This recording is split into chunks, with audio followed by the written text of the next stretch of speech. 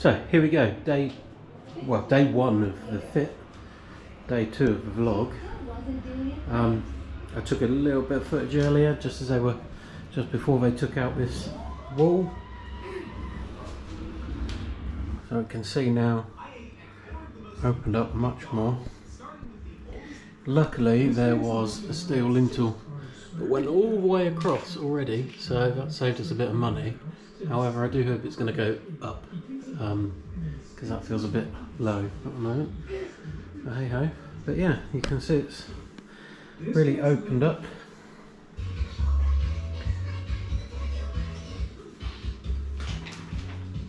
This morning I woke up and the ring my finger was gone. This You can see the original yellow walls and the horrible lino that they used to have. I was- I always think it's interesting when you